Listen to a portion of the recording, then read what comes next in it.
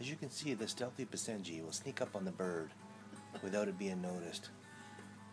Unsure of the ferocity of the bird, she will attack. Once she attacks and realizes that a rope only reaches so far, she seems a bit confused as to what exactly is in the green container at the top of the Mary Had Little Lamb. Maybe someday she'll be able to answer all these questions. Maybe not.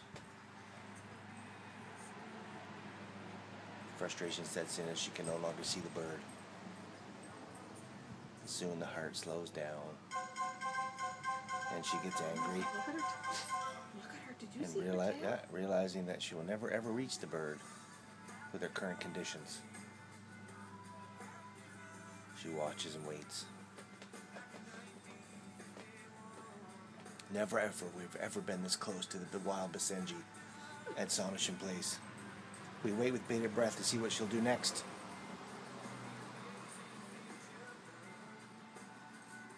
Alas, she is getting very frustrated.